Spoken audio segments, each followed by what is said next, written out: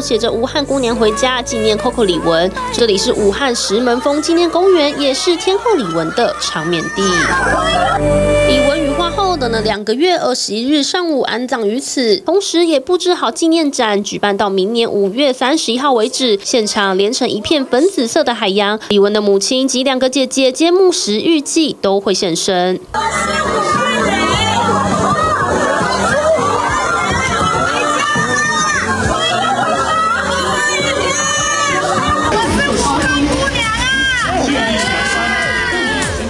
其实李玟生前只要到武汉，便会与当地粉丝说自己就是武汉姑娘。原来她的母亲在重庆出生，抗战结束后与家人离开四川，到了武汉，再前往上海学医。李玟也曾说过，舅舅一家人住在武汉。